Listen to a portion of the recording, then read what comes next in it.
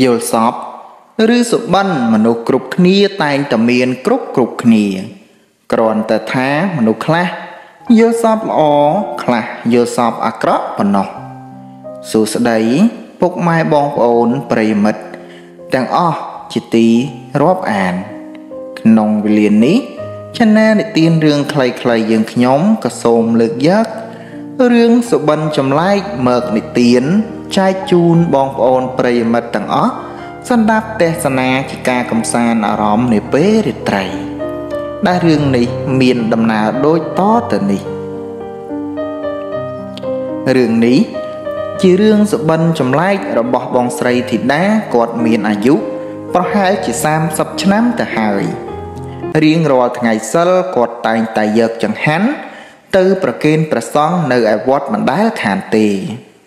គាត់ជាមនុស្សមាននិស័យនឹងធម៌អានណាស់ហើយគាត់តែងតែ សមាទានសិលមិនដែលខានឡើយនៅថ្ងៃមួយបងស្រីធីតាគាត់ក៏បានយល់សពចម្លែកគាត់យល់សពឃើញថា បងប្រុសដាដែលជាអ្នកចិត្តខាងរបស់គាត់នឹងមានគ្រោះថ្នាក់ម៉ូតូបុក នៅវេលាម៉ោង12ថ្ងៃត្រង់នៅថ្ងៃស្អែកនេះគាត់នឹងមានគ្រោះថ្នាក់ម៉ូតូបុកនេះហើយ ដែលគាត់ជាសពឃើញនោះវាស្ដែងស្ដែងណាស់ហេតុនេះហើយពេលដល់ព្រឹកឡើងគាត់ក៏បានដើរទៅប្រាប់ប្រពន្ធបងដាថាឲ្យគាត់ប្តីកុំឲ្យដើរចេញទៅណាអីនៅវេលាម៉ោង12ថ្ងៃត្រង់ពីព្រោះគាត់បានយល់សពឃើញថាឃើញមានគ្រោះថ្នាក់នៅពេលដែលនិយាយរួចគ្រួសាររបស់បងដាមិនហ៊ានចេញទៅណាទេក៏ប៉ុន្តែ ចៃដនអីនៅក្នុងសាលា នោះគ្រូក៏បាន ទូរស័ព្ទប្រាប់ថាកូនស្រីរបស់គាត់ឈ្មោះវតីបានខ្យល់កើនៅកំពុងតែរៀបចំសង្គ្រោះបន្ទាន់នៅឯមន្ទីរពេទ្យបងដានិងប្រពន្ធដោយភិតភ័យពេកភ្លេចអស់នៅរឿងដែលបងស្រីធីតាបានប្រាប់ក៏រៀបចំខ្លួនទៅមន្ទីរពេទ្យក្រោយពីកូនគាត់បានធូរស្រាលហើយ គាត់ក៏នាំមើកត្រឡប់មកផ្ទះវិញមកដល់មុខផ្ទះទៅហើយម៉ូតូបងដែរបែរជាបែកកង់មុខប្រពន្ធនិងកូនក៏នាំគ្នាចុះស្រាប់តែមានម៉ូតូមួយគ្រឿងទៀតបោះពួយពេញមួយទំហឹងមកបុកបងដែរបណ្ដាលឲ្យស្លាប់ទាំងពីរនាក់ទាំងអ្នកបុកទាំងបងដែរពេលនោះគឺជាវេលាម៉ោង12ថ្ងៃត្រង់ល្មើមហេតុការណ៍នោះ ពិតជាគួរឲ្យតក់ស្លុតណាស់ប្រពន្ធនិងកូនមកដាយំសោកស្ដាយគាត់ដោយសារតែភ័យនឹងកូនបាយជាភ្លេចគ្រោះថ្នាក់ខ្លួនឯងវាហាក់ដូចជាលឿនពេកហើយ3ថ្ងៃក្រោយមកបងស្រីធីតាក៏បានយល់សពថានឹងមានសត្វព្រៃរត់ចូលស្រុក ហើយនឹងធ្វើឲ្យមានគ្រោះថ្នាក់ដល់មនុស្សចំណាស់អាយុ50ឆ្នាំប្លាយ3នាក់ បងស្រីធីតាពិតជាមិនអាចបណ្ដោយឲ្យរឿងនេះកើតឡើងម្ដងទៀតទេគាត់ក៏បានទូរស័ព្ទប្រាប់ចាស់ចាស់ដែលមានអាយុប្រមាណចាប់ពី50ឆ្នាំឡើងកុំឲ្យដើរចេញទៅណា តែចៃដនអីថ្ងៃនោះវាចំជាថ្ងៃឧបោសថសិលទៀតសំបីតែគាត់ក៏ត្រូវទៅវត្តដែរ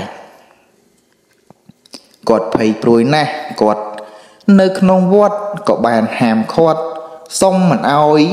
អ្នកមានអាយុ50ឆ្នាំឡើងចេញពីវត្តទេរងចាំឲ្យកូនចៅមកទទួលខណៈកំពុងតែហូបបាយថ្ងៃត្រង់រួចក៏ស្រាប់តែគ្រប់គ្នាផ្អើលឈូឆរ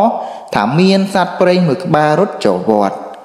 ដោយចោមរមមើលបងស្រីធីតាគាត់គិតថាប្រហែលជាសត្វឆ្លុះហើយមើលទៅគាត់ក៏ដើរសម្ដៅទៅកាន់វងមនុស្សក៏ស្រាប់តែឃើញ សត្វនោះជាសត្វជ្រូកព្រៃដែលរងរបួសទៅវិញឃើញស្ថានភាពបែបនេះហើយបងស្រីធីតានឹកឃើញដល់រឿងយល់សពគាត់ក៏ស្រែកហៅមនុស្សចាស់ឲ្យឡើងមកលើសាលាឆាន់ក៏ប៉ុន្តែគ្មានអ្នកណាស្ដាប់គាត់ឡើយគាត់ក៏រត់ទៅបន្ទូលប្រជាអធិការវត្តដើម្បីសុំឲ្យជួយ ក្រោយពីស្ដាប់រឿងរ៉ាវរួចលោកចៅអធិការវត្តក៏គោះជួងហៅយាយយាយតាតាឲ្យឡើងលើសាលាឆាន់ជាបន្ទាន់ថាមានរឿងចង់ប្រាប់គ្រប់គ្នាក៏រុះរាន់ឡើងតាមក៏ប៉ុន្តែលោកយាយម្នាក់វ័យជារាជាងគេដើរមិនទាន់គេក៏ស្រាប់តែត្រូវជ្រូកព្រៃនោះរត់មកបុកខ្វេះពោះខ្វេះមុខបណ្ដាលឲ្យបាត់បង់ជីវិតទៅ ហើយវាក៏រត់ចូលទៅព្រៃវិញបាត់គ្រប់គ្នាក៏នឹកដល់សម្ដីបងស្រីធីតាដែលបានប្រាប់ទើបនាំគ្នាសុំទោសដល់បងស្រីធីតាក្រោយហេតុការណ៍នោះបងស្រីធីតាក៏បានចូលសួរព្រះចៅអធិការវត្តឲ្យជួយមើលឲ្យហេតុអ្វីបានជាគាត់ មាននិស័យនឹងមើលរឿងទាំងអស់នេះដឹងមុនទៅវិញព្រះចៅអធិការវត្តក៏បានប្រមាលមើលនឹងបានមានសង្ឃនិកាថា ពីអតីតជាតិបងស្រីគឺជាមនុស្សអភ័ព្វណាស់ក៏ប៉ុន្តែដោយសារតែបានជួយមនុស្សពិការភ្នែកម្នាក់ទើបកសលផលបុណ្យជាតិនេះ បានជួយឲ្យបងស្រីអាចមើលឃើញហេតុការមុន ដើម្បីសង្គ្រោះម្ចាស់កម្មពៀដែលបានធ្វើបាបមនុស្សពិការភ្នែកនោះអ្នកដែលបានជួបគ្រោះថ្នាក់សុទ្ធតែបានជំពាក់កម្មពីជាតិមុនមកពេលវេលា ដែលត្រូវសងកម្មនោះវាអាស្រ័យថាតើនរណាបានសាងកម្មច្រើន ឬក៏តិចប៉ុណ្ណោះដូច្នេះញោមកុំបារម្ភអីអ្វីគ្រប់យ៉ាងជាអនិច្ចំសូមរក្សាការសន្សំកុសលរបស់ញោមបន្តទៀតទៅចុះអស់ពេលជាច្រើនខែកន្លងទៅ បងស្រីធីតាតែងតែទៅធ្វើបុណ្យនៅតាមវត្តនានា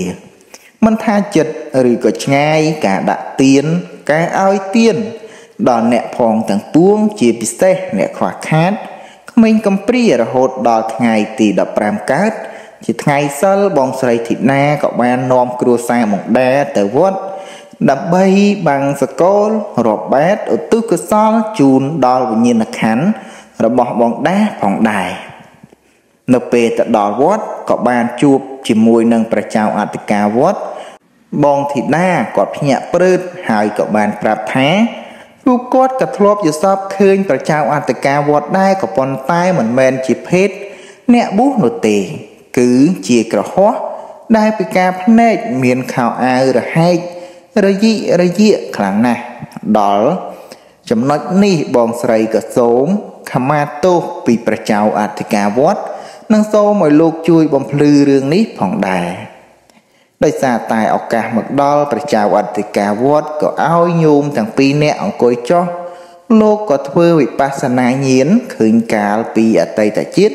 រួចក៏រៀបរាប់ថា ចូលញោមទាំងពីរស្ដាប់តាម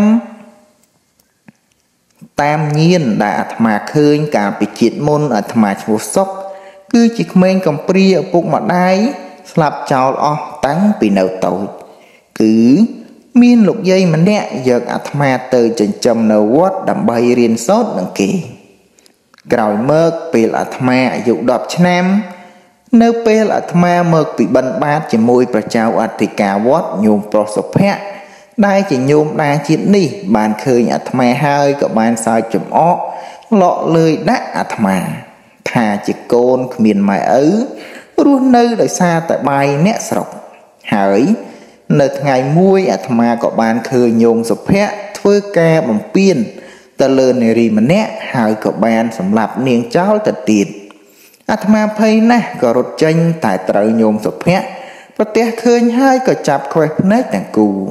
ហើយគំរាមថាបើអាត្មានិយាយរឿងនេះប្រាប់អ្នកដតីគាត់នឹងសម្លាប់អាត្មាចោល ក្រោយពីពិការភ្នែកហើយអាត្មាត្រូវបានញោមស្រីលក្ខណាត្រូវជាបងស្រីធីតានៅក្នុងជាតិនេះ បានជួយចិញ្ចឹមថែរក្សាទំនុកបំរុង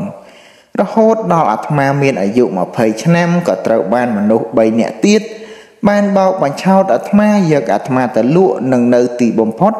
អាត្មាត្រូវគេសម្លាប់នៅពេលដែលអាត្មាធ្វើការឲ្យគេមិនបាន នៅចុងបញ្ចប់នៃជីវិត អាត្មាក៏បានដាក់បណ្ដាសានិងចងគំនុំអ្នកទាំងនោះគ្រប់គ្រប់ជាតិដោយហេតុតែឃើញអំពីអតីតជាតិនេះហើយទើបអាត្មាបួសដើម្បីបំពេញកុសលដែលអាត្មាខ្វះខាតកាលពីជាតិមុនបំពេញកុសលជូនម្ចាស់កម្មពីពីជាតិមុនអាត្មាបានអហោសកម្មឲ្យអ្នករាល់គ្នាហើយ សូមតញាតញោមខិតខំបំពេញ កុសលឲ្យបានទៀងទាត់ចូលចាំថា យើងមិនអាចមើលឃើញជាតិមុន ឬក៏ជាតិក្រោយទេ សំខាន់នាពេលបច្ចុប្បន្នក្នុងជាតិនេះ គួរខិតខំកសាងអំពើល្អជាកុសលជូនទៅអ្នកទាំងអស់គ្នាក្នុងបរលោកខាងមុខក្រោយពីបានស្ដាប់រឿងរ៉ាវទាំងអស់នេះហើយចប់សពគ្រប់ក៏យល់សេចក្តីអស់ហើយ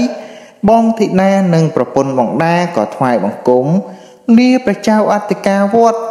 នឹងបានព្យាយាមធ្វើបុណ្យបំពេញកុសលមិនដែលខានឡើយធម្មទានជាទានដ៏ប្រសើរក្រៃលែងលើសអស់ទានទាំងពួងរឿងសុបិនចម្លែកដែលអស់លោកលោកស្រីអ្នកនាងកញ្ញាបងប្អូនប្រិយមិត្តទាំងអស់ កំពុងតែតាមដានសម្ដាប់ទេសនានៅក្នុងវេលានេះក៏ឈានដល់ទីបញ្ចប់តែត្រឹមប៉ុណ្នេះឯង Channel និទានរឿងខ្លីៗយើងខ្ញុំក៏សូមថ្លែងអំណរអគុណដល់អស់លោកលោកស្រីអ្នកនាងកញ្ញាដែលបានចូលមកស្ដាប់រឿងនិទានរបស់យើងខ្ញុំ សង្ឃឹមថា សង្ឃឹមថាបងប្អូនប្រិយមិត្តទាំងអស់មិនភ្លេចចុចនៅសញ្ញា Subscribe និងដាក់សញ្ញាកណ្ដឹងឲ្យ Channel យើងខ្ញុំនៅឡើយក្នុងវេលានេះ យើងខ្ញុំក៏សូមលំអោនកាយគោរពលាពីអស់លោកលោកស្រី អ្នកនាងកញ្ញាបងប្អូនប្រិយមិត្តទាំងអស់ត្រឹមតែប៉ុណ្នេះឯងសូមអរគុណ